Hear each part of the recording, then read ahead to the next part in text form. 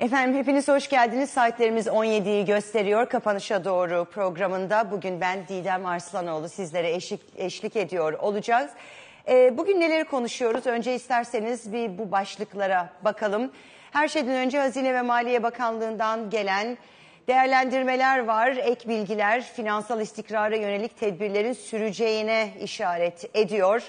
Ee, BDDK'dan Cuma günü gelen ve ardından hafta sonu da detaylandırılan başlıklarla birlikte daha da bu başlıkları, makro ihtiyati tedbirleri ve varsa eğer yeni önlemleri sanki konuşmaya devam edeceğiz gibi duruyor. Öteki yandan Uluslararası Enerji Ajansı Başkanı Fatih Birol'un da enerji tarafına ilişkin önemli değerlendirmeleri vardı. Enerji krizine karşı olağanüstü önlem almak gerekiyor dedi Fatih Birol. G7'nin ana gündeminde de yine enerji var, savaş var ve yüksek fiyatlar var. E, bunu da yine bu ve bundan bir sonraki yayınımızda detaylı olarak konuşacağız. Çünkü hem G7 hem yaklaşan NATO hem merkez bankaları başkanlarının bir araya geldiği Portekiz'deki forum bugün başlıyor. Hepsinin ortak konuları içinde yer alan başlıklar aslında bunlar. Bir de yine bugün ne konuşacağız dediğimizde Goldman Sachs'tan gelen emtiyada henüz zirveyi görmedik yorumu var ki bu da son derece önemli bir başlık. Altını yorumlarla, uzmanlarla dolduruyor olacağız. Buradan isterseniz hep yaptığımız gibi yatırım finansmana dönelim. Strateji ve Yatırım Danışmanlığı Müdürü Serhan Yenigün karşımızda. Serhan hoş geldin yayınımıza. İyi çalışmalar diliyorum sana. Merhaba yayınlar. Çok teşekkürler. E, BDDK kararlarına bir atıfta bulunarak girdik. Zaten bu yayına bugün sabahtan beri bunları konuşuyoruz. Ama bu ve bunun ötesinde bugün piyasalar neleri fiyatlıyor ve ne tür etkiler izleniyor seni dinliyoruz. Evet aslında cuma akşamından beri konuşuyoruz bunu ki hafta sonunda biz de e, yatırımcılarla bir araya geldiğimiz e, bir etkinlikteydik. E, orada da bütün hafta sonunun konusu bu pazartesi günü Borsa İstanbul günü nasıl başlar, sonrasında nasıl devam ederdi. E, bizim de oradaki temel yaklaşımımız e, böyle cuma günü gelen kararlar zaman zaman piyasalarda çok olumsuz etkiler yaratsa da aslında bir yandan da sindirilmesine de zaman tanıyor.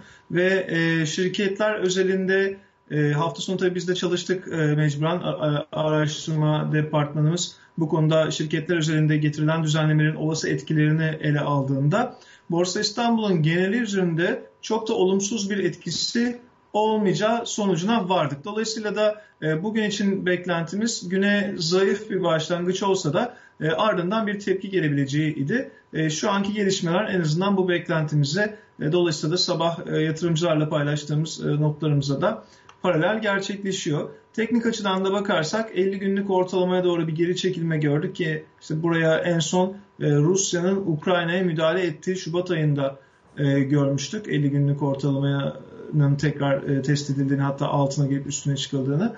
O tarihten bu yana 50 günlük ortalamanın altına hiç gelmedik ve bir, iki kere test ettik. Bugün de aynısını yaşadık. Üstünde kalmaya devam ediyoruz. Şirketlerimizin güçlü kalmaya devam ettiğini düşünüyoruz. Değerlemeler anlamında bu alınan düzenlemenin aşağı yönlü bir etkisi yok. E, sadece burada şu var tabii ki e, geçen yıl Ekim ayından bu yana dolar kurundaki yükselişle beraber dolar ve hatta enflasyonun fiyatlamalar üzerindeki olumlu etkisini o kadar kanıksadı ki e, yatırımcılar ve piyasalar. Eğer bugün kur gevşemeye devam etseydi yani 16 lara doğru yaklaştı. 16-10'lara kadar yaklaşıp 16-60'lara geri döndü ama eğer 14-15 lira gibi seviyelere doğru eğer kurdaki gerileme sürseydi muhtemelen döviz geliri olan ya da gelirlerine hizmetlerine dövize endeksli olarak fiyatlayan e, şirketlerin değerleme modellerinde bazı aşağı yönlü revizyonlar görürdük. O bir baskı yaratırdı ama şu an bu yok. Teknik açıdan e, 50 günlük ortalama üstüne tutunmak tutunmamız olumlu. Kurdaki gevşemenin e, çok sert olmaması olumlu. Yine yavaş yavaş gevşeyebilir ama Borsa İstanbul'u e, olumsuz etkilemez. Ve değerlemeler uzun vadeli görünüm zaten pozitif. Bizim taraf böyle. Dışarıyla ilgili de bir şey paylaşmak istiyorum. Amerika'da dayanıklı mal siparişleri geldi az önce. Ve e, şunu artık görmeye başladık. Yapılan yorumlarda da çok yer alıyor. Eskiden yani yakın zaman diyebileceğim bir eski e, periyotta beklentilerden güçlü veriler, e, ya da işte özellikle büyüme, tüketim, istihdam tarafında gelen güçlü rakamlar o zaman FED sıkılaşmayı adımlarını hızlandırarak devam ettirebilir diyerek piyasaları ürkütüyordu. Fakat artık son zamanda yapılan yorumlar şöyle gelmeye başladı. Fed Mart ayından bu yana sıkılaşmaya başladı ve faiz artımlarına devam ediyor. Hatta en son e, işte 1994'ten bu yanaydı sanırım. İlk kez 75 bas puanlık bir artırmada gitti. E, Fed sıkılaştırmayı güçlendirerek, e, adımlarını hızlandırarak sürdürmesine rağmen makro verilerde özellikle de büyüme, tüketim, istihdam odaklı verilerde bir bozulma yaşanmaması şöyle yorumlara sebep oluyor. ABD ekonomisi o kadar güçlü ki FED sıkılaşmasına rağmen bir momentum kaybı yok. Bu da tekrar o kötü veri iyi piyasa, iyi veri kötü piyasa algısından yeniden iyi veri iyi piyasa e, algısına piyasaları yönlendirebilir ve Fed'in bu faiz artışlarını enflasyonla mücadele adına yaptığını zaten biliyoruz. Bir yandan enflasyonla mücadele ederken, edilirken bir yandan da resesyon kaygılarının belki de yavaş yavaş azalacak olması da küresel piyasalar içinde çok pozitif, son derece olumlu e, bir e, görünüm çiziyor. En azından geride bıraktığımız birkaç aya göre daha olumlu bir resme doğru piyasaları yönlendiriyor. E, bu taraftan bakarsak yani yurt dışı etkisi tarafından bakarsak da bunun da destekleyici olduğunu ve ilerleyen vadede zaten içeride ucuz bulduğumuz şirketlerimizin dışarıdan gelen destekle de beraber olumlu yönde seyredeceğini düşünüyoruz. Yatırım Finansman Strateji ve Yatırım Danışmanlığı Müdürü Serhan Yenigün çok teşekkür ediyoruz bize eşlik ettiğin için ve araştırma masamıza döneceğiz. Şimdi Çağlar'la sohbet edeceğiz biraz. Geleceğin yatırımlarına yön veren Akbank Yatırım Hizmetleri sunar.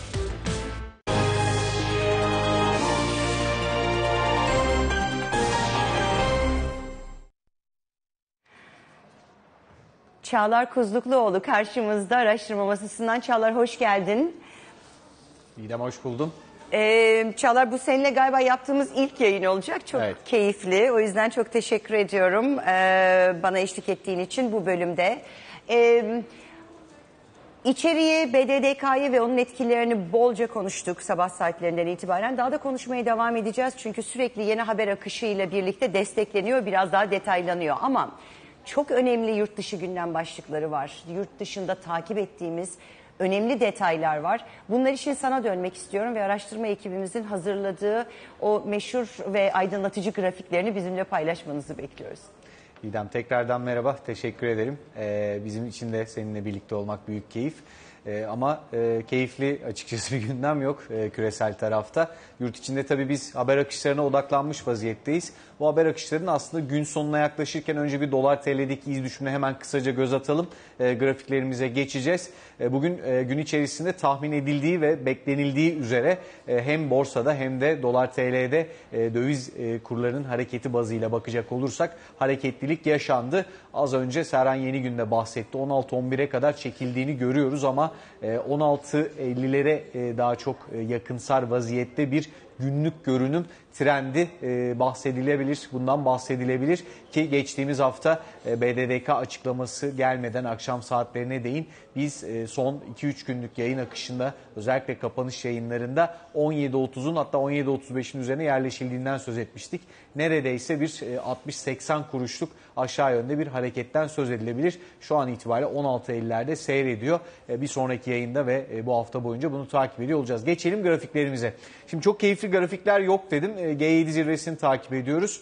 E, savaşın e, dünya gündeminde e, önüne çıkması kuşkusuz özellikle küresel büyüme üzerindeki baskıları arttırdı ama yüksek enflasyon dönemindeyiz.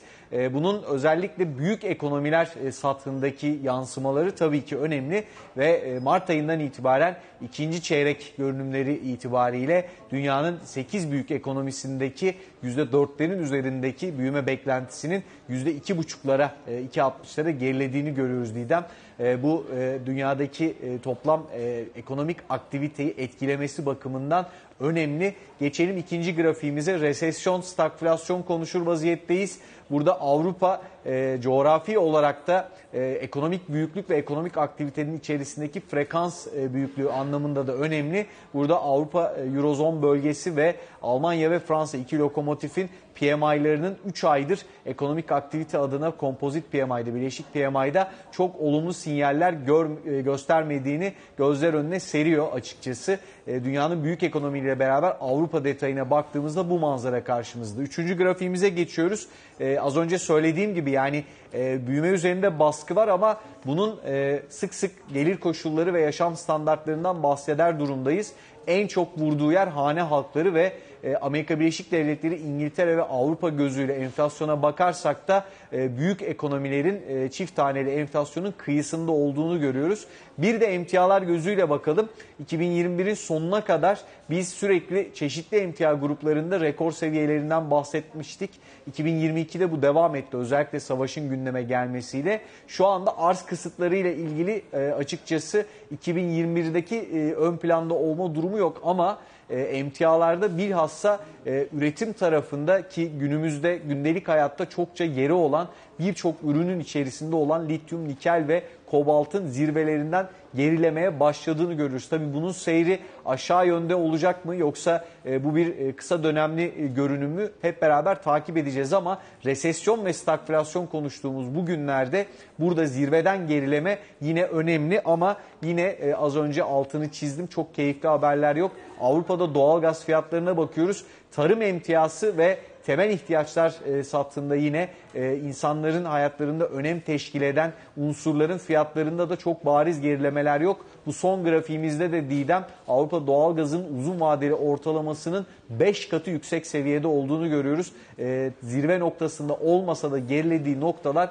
açıkçası 2021'lere kadar çok da alışılmış seviyeler değil. Tıpkı enflasyon gibi çift taneli enflasyona ya da hiper enflasyona alışkın ülkeler için rakamlar belki küçük görünüyor olabilir ama büyük ekonomilerdeki görülen enflasyon ve fiyatlar içerisindeki bazı unsurlar açıkçası sonbahar ve kış aylarına dair düşünceleri arttırır vaziyette. Ama biz bu hafta küresel tarafta bakarsak iyimser e, risk iştahının bir miktarda iyi olduğu bir haftaya başladık. Gelişmeleri takip etmeyi sürdüreceğiz. Çağlar çok teşekkür ediyoruz sana.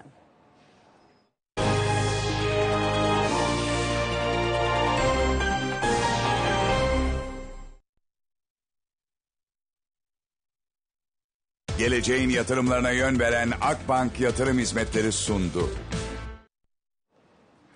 Şimdi bir reklam arasına gidelim ardından yayınımıza kaldığımız yerden devam edeceğiz.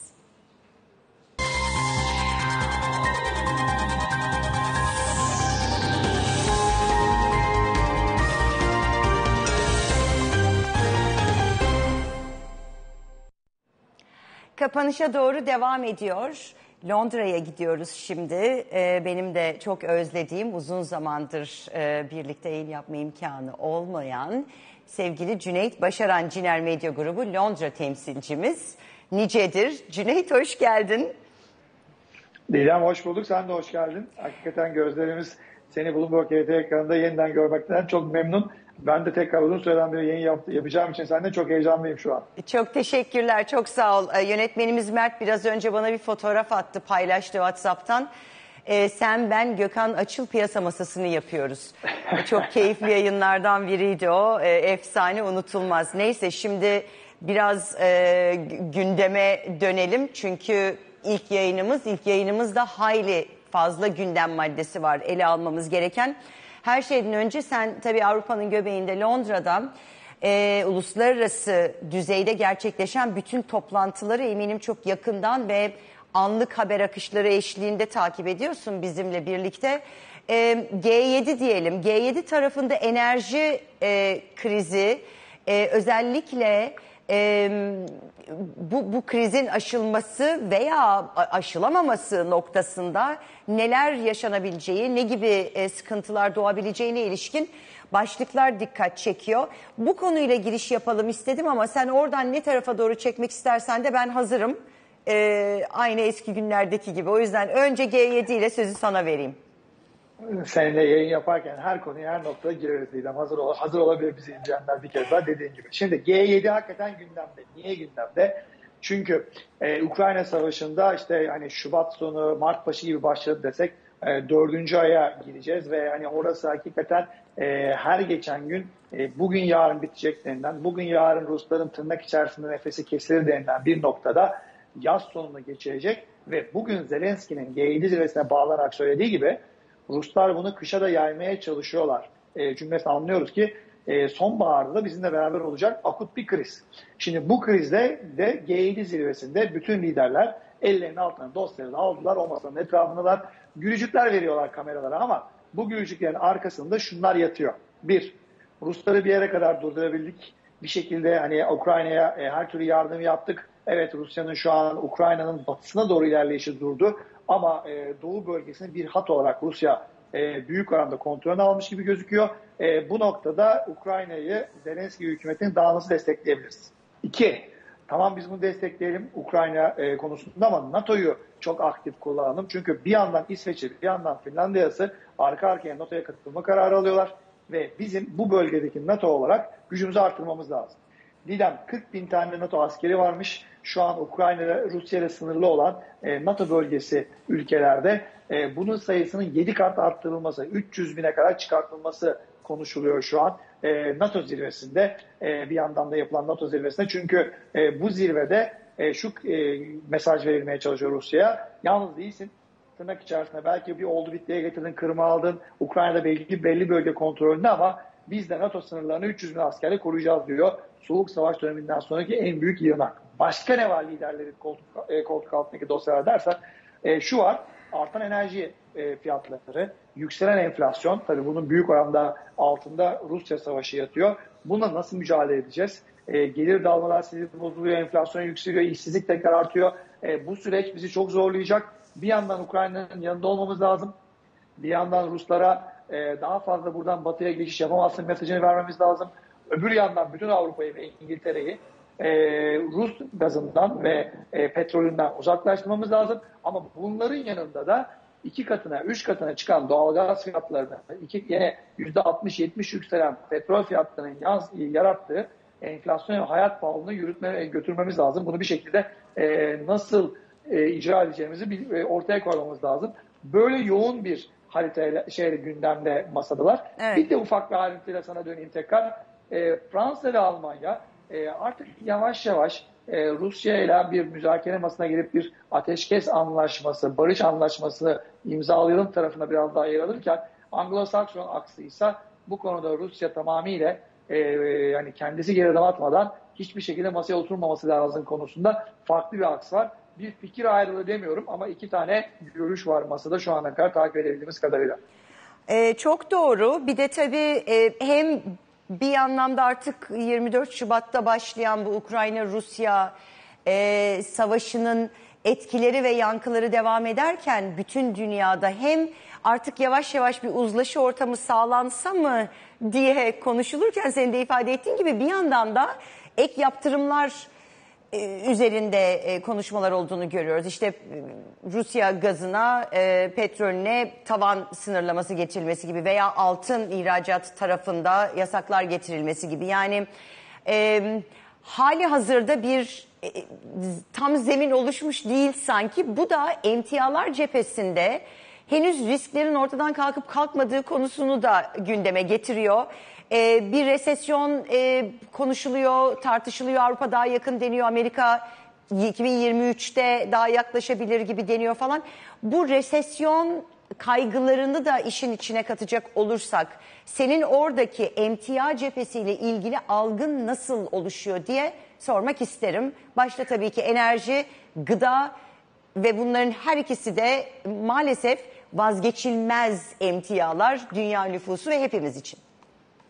Öyle e, gerçekten de değilim. Şimdi e, en, dediğin gibi Rusya e, ve Ukrayna her ikisi özellikle mesela gıda konusunda, bakliyat konusunda, e, vukuat konusunda e, çok önemli iki tane üretici ve e, bu iki üreticinin şu an kendi içine dönmüş olması ya da olan e, hasatı e, toparlayıp e, dünyaya gönderemiyormuş olması gıda fiyatları üzerine bir kriz yarattı.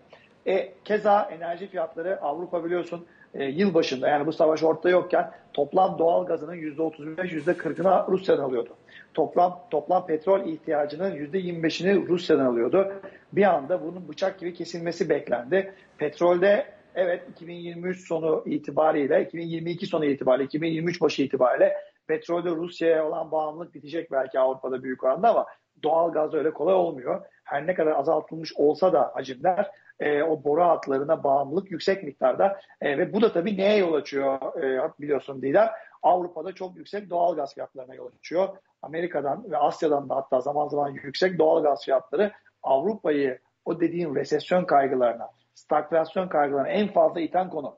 Niye resesyonu Amerika'ya göre Avrupa'da daha çok konuşuyoruz? Çünkü Avrupa enerji krizinde, burada geçen hafta e, Avrupa'da özellikle Alman yetkililer söyledi. Bir yandan Rusya'ya olan bağımlılığı azaltmaya çalışıyorlar. Öbür yandan petrolü belki ama e, doğalgazı LNG formatını nereden bulacağız? Kaça bulacağız? Bunu nasıl terminallerle tekrar ayrıştıracağız? Bütün bu e, tartışmanın içerisindeler. O yüzden resesyon kaygısı dünyada var mı? Var.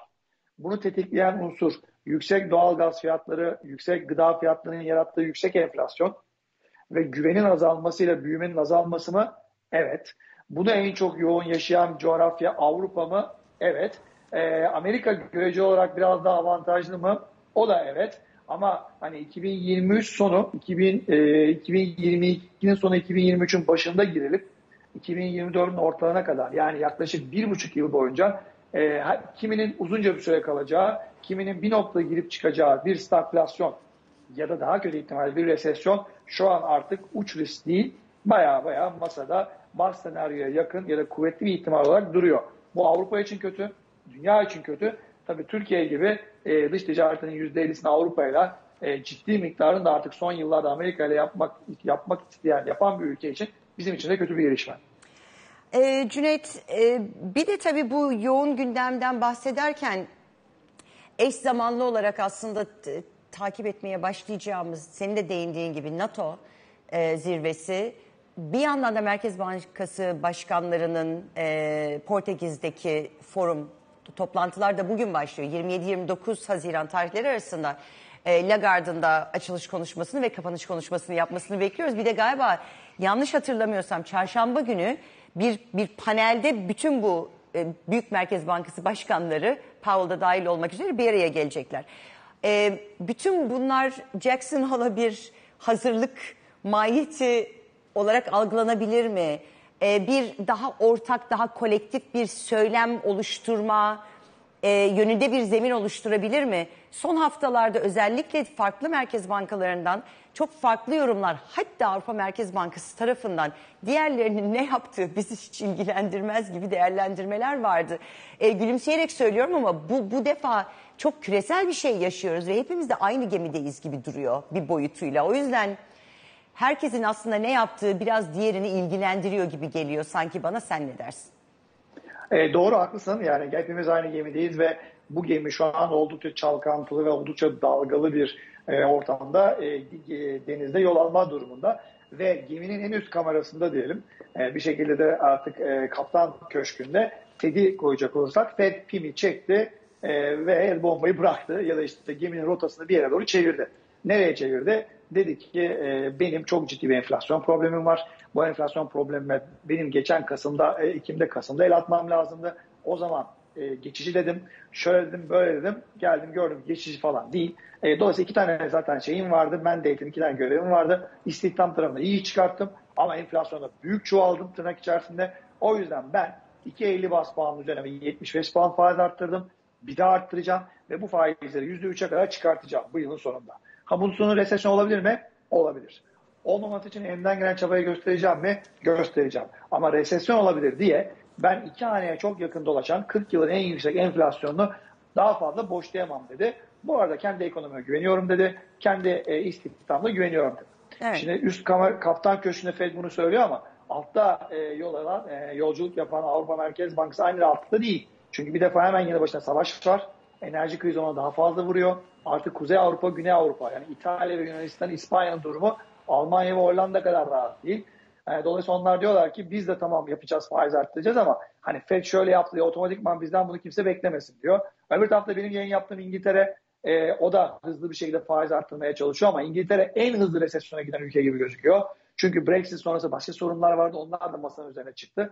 Yani genel olarak bir e, hani daha tandem, daha e, şeyle uyumlu bir mer büyük merkez bankalarının e, aynı frekansta olmasını bekliyoruz senin dediğin gibi değil ama ama bu sefer 2008 krizindeki gibi ya da 2012-13 Avrupa krizindekinden farklı olarak herkes farklı yerden yakalandı ve herkesin sorunları sorunları farklı hissediyor. O yüzden beklediğin eş güdüm olur mu çok emin değilim bana toplantıda. Peki e, Cüneyt Süren'in e, sonuna geliyoruz ama bir, bir dakika içerisinde BDDK'dan gelen Cuma günü ve ardından alt detaylar e, bugün boyunca konuşuldu. Daha da konuşulmayı takip edilecek. Sen nasıl yorumluyorsun? Londra tarafından edindiğin izlenimler ne? Belki de yabancılarla konuştuğunda nasıl karşılıyorlar diye sormak lazım. Şimdi bu zamana kadarki olan hamleler son birkaç hamle, Adliye Maliye Bakanlığı hamleleri Londra'da yankı buluyordu. Yani swap piyasasında belki kontrollü olarak yeniden Londra'ya TL veriliyor olması, işte Merkez Bankası'nın artık muslukları, kredi musluklarını kapatıyor olması, kredi taksitlerin azaltılıyor olması, zorunlu karşılıklar arttırılarak e, TL kredi kullanılmasının zorlaştırılıyor olması, TL maliyetinin artırıyor olması bunlar genel olarak tamam politika faizi yükseltilemiyor ya da yükseltilmiyor. Ama bir şekilde kulak öbür taraftan da e, gösterilerek de olsa belli ki 75'lerde %75'lerdeki enflasyona karşı bir şey yapmak için Türkiye'de muslukları kısmaya ve kredi tarafından hiç olmazsa bir şekilde bir cevap vermeye çalışıyor. Belki arz tarafını kontrol edemiyor e, maliyet artışını ama hiç kimse gibi hiç olmazsa talep tarafını törpülemeye çalışıyor. Bu zamana kadarki paketin aslında bu anlamda burada hani belki fiyatları yansımıyor ama bu, bu e, karşılık içerisinde gittiğini görüyordum. Fakat bu anlamda Exim Bank kredilerine gelen 40 artı 30 uygulamasını da bir şekilde Merkez Bankası'nın işte döviz ve e, rezervini arttırması lazım. Belki bu karar bir parça ihracatçıları zorlayacak. Her ihracatçı buna uyamayabilir. Bunun sıkıntılı olabilir ama hangi mantıkla yapıldığını anlayabiliyoruz. Nihayetinde zaten Exim Bank kredilerinin hükümet, e, hükümet destekliyor, e, sübvanse ediyor diye de bir şekilde anlatılıyordu. Evet. Fakat son hamle e, bu kadar net anlaşılamıyor açıkçası her ne kadar e, işte orada bir tür şu tür kriterler uygulanırsa ancak şu olursa falan dense de nihayetinde e, işini iyi yapan, vergisini ödeyen, e, tamamen işine odaklanmış bir şirketin e, belki ithalat giderlerine karşı hece etmek amaçlı, belki kur riskine karşı kendini korumak amaçlı, belki ham madde almak için kendisine korumak amaçlı almak, almak zorunda kaldığı da almayı tercih ettiği dövizde %10 e, sınırlaması getirilmesi satış için yani toplam satışlarından ve bunu almadan da bunu düşürmeden de TL krediye ulaşılamaması bir şekilde enflasyonla mücadele için bir şekilde e, TL'nin güçlendirilmesi için izah ediliyor. Ama ilk başta anlattığım ve birbirine daha yakın o hikaye kadar burada net bir karşılık bulamıyor. Bu biraz daha piyasaya müdahale ve bu biraz daha normal piyasa çarklarına e, yapılan bir müdahale olarak algılanıyor. O yüzden e, bunun nasıl tekrar düşünülür bilemem ama e, net olarak burada ilk anlat ilk anlattığım önlemler kadar pozitif bir karşılık bulmadığını söyleyebilirim. E, Cüneyt bir de e, aslında şunu da hemen o soruya ekleyeyim. E, bizde içeride bir döviz rezervi sorunu var değil mi? Yani döviz ihtiyacımız var ülke olarak. Yabancıların bu tip uygulamaları, mikro düzeydeki bu tip uygulamaları bir güvensizliğe, bir ek güvensizliğe yol açıyor mu? Bu konuşuluyor mu? Yatırım yapmak anlamında Türkiye'ye. Ya şimdi aslında yani demin söylediğim gibi atıyorum zorunlu karşılıkların arttırılıyor olması ve e, ya da işte ihracat giderlerinin TL döndürülme, döndürülüyor olmasının dünyada da e, özellikle rezervler konusunda sıkıntısı olan birçok ülkede karşılığı var. Yani bu anlamda artık geçilen öyle bir dönemden geçiyoruz ki Ukrayna Savaşı, enerji krizi, e, birçok konu hani nihayetinde bazı ülkelerin bu konuda bir parça daha kendilerini garantiye almak için e, döviz tarafına e, bir parça daha yüklendikleri görülüyor. Hani bunun bir e, söylendiği zaman burada nereden çıktı bu olay? Böyle bir şey mi var? Dünyada bunun karşılığı var denmiyor. Ama öbür taraftan yani normal bir ticari işletmenin çok rahatlıkla kendi kendisine göre karar verebileceği TL kullanmak için döviz satman lazım gibi bir açıklama uygulamanın e, çok fazla şeyi yok. E, uygulaması yok. Daha doğrusu karşılığı yok. Bu hakikaten tabii Türkiye'nin e, bir yandan rezervlerini arttırmak istediği anlaşılıyor. Ama bunu e, piyasa şartlarının, serbest piyasa şartlarının içerisine yapılacak müdahaleyle ne kadar başarılı olabileceği ya da başka bir takım sıkıntıları ileride yol açıp açmayacağı çok sorgulanıyor. Ciner Medya Grubu Londra temsilcisi Cüneyt Başaran bu hafta boyunca seninle birlikte olacağız. O halde yarın görüşmek üzere diyelim. Şimdi sırada Bloomberg HT'de öne çıkanlar var.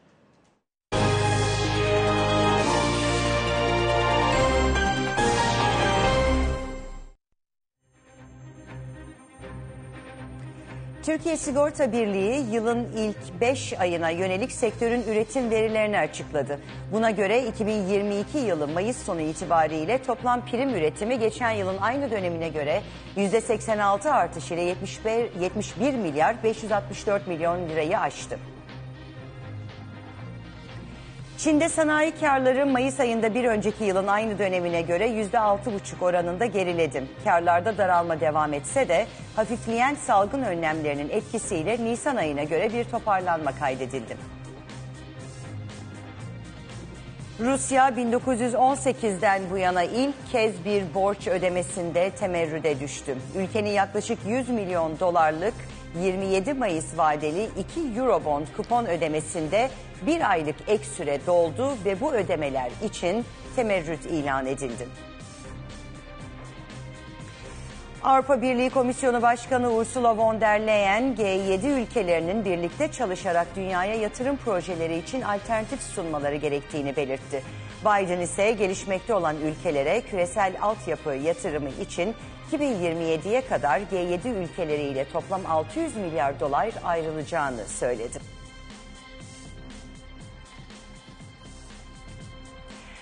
Kapanışa doğrunun sonuna geldik. Bir reklam arasının ardından günden kalanlarla tekrar karşınızda olacağım. Bir yere ayrılmayın.